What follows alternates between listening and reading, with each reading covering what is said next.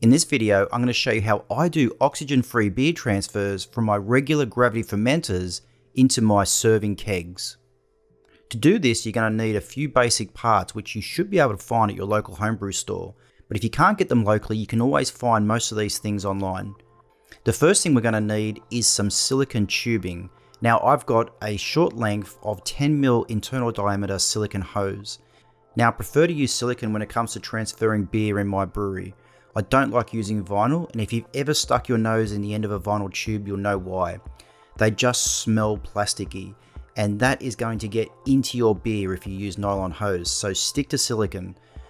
With the silicon tubing, you're going to need to connect it to both ends. At one end, you're going to need to connect your silicon tubing to your tap on your fermenter.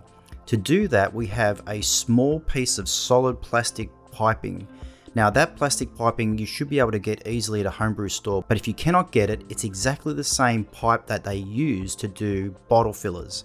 So if you've got a bottle filler in your kit, you could always cut a 20 to 30 millimeter length off the top, that's about one inch, and insert that inside your tap and slide the silicon tube over the top of that. That's going to give you a nice snug fit at the tap end. At the keg end, we're going to need a liquid MFL disconnect. Now the MFL disconnects have a threaded end as opposed to a barbed end for the tubing. You want the threaded end because the threaded end is actually about 10 millimeters in diameter and that's going to fit nice and snug at the other end of your silicon hose and all you're going to need then is a hose clamp just to tighten it up to make sure you get no leaks. This way you're going to have a completely sealed line between the tap on your bucket and the liquid line on your keg or the liquid outline.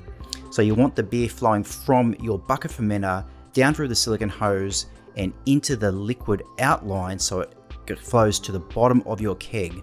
The other thing you're going to need is a carbonation cap and a short length of gas hose. The carbonation cap will connect to a gas line in your brewery so you can put CO2 into the top of your fermenter. Now the gas line on the carbonation cap will go into the bung hole on your fermenter where your airlock is. So you'll pull your airlock out and insert the gas line through the bung hole in, gently into the top of your fermenter. That should fit fairly snugly and not allow any air to get into the top of your fermenter. Once you start the transfer, you want to release a small amount of CO2 continuously into the top of your, your fermenter. Not too much though, you don't want to blast the top of your beer. You just want a nice gentle layer of CO2 coming down and settling on top of the beer for the entire duration of the transfer. With your serving keg being sanitized and now full of CO2 ready to fill, you want to first connect the silicon hose to the tap on your fermenter first, and you want to connect it just loosely. Then you're going to connect the MFL disconnect to the liquid outpost on your keg. Once it connects on, the CO2 is going to come out of the liquid outline, it's going to go through the silicon hose and it's going to purge that silicon hose. So you don't want that to be tightly connected to your tap just yet. You want it to be nice and loose so the CO2 can escape through that line completely and completely drain the keg. This way you're going to purge that line of CO2 so there's going to be no air anywhere in the system. Once the CO2 in the tank drains out completely, you're going to push that line in even harder into the tap so it's nice and secure. Turn your tap on, open your pressure release valve on your keg and let the beer run in. And that's it. That's all it takes to do an oxygen free transfer from a regular fermenter into a keg.